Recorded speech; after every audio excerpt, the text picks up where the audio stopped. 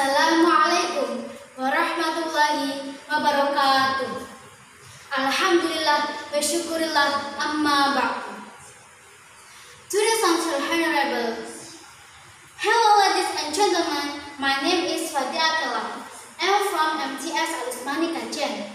I will speak the young generation as milestones, the country advancement.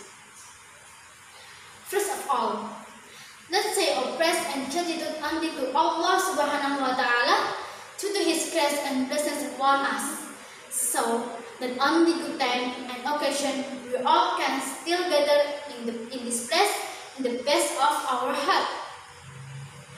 Ladies and gentlemen, what do you have in mind when you are about when you are talking about the current generation in our country? Some of you might think of the word millennials or Gen. Yeah, it's right. Our current society is still dominated by those two generations. The thing is, what do you think of the what those two generations have in common? That's right. Something that they have in common is that they are so close with technology, or in this case, the internet.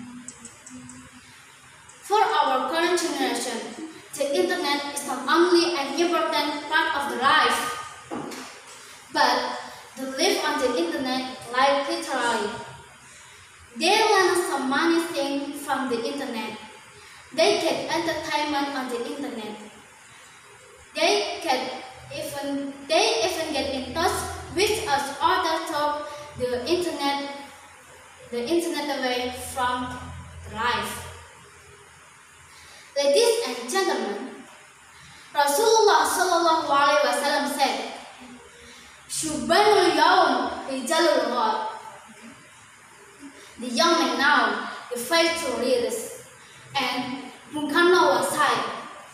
Give me one thousand parents, I will undertake pull out the fun from the roots. Give me young man, I will undertake shake the world. Ladies and gentlemen, we shall be able to become a reliable generation and proud. We shall be able to be the agent of the reformer of the environment. Youth is a time full of vigor. Youth is a time full of passion. Let us act in a positive direction. Let us let us act in a positive direction. We make ourselves into an example of goodness that is able to transmit the passion to our stories in the other. That's all. I could say I wish we can meet again someday.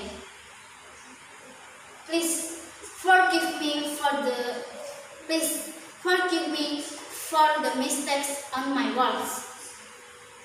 Thanks for the attention. Wassalamualaikum warahmatullahi wabarakatuh.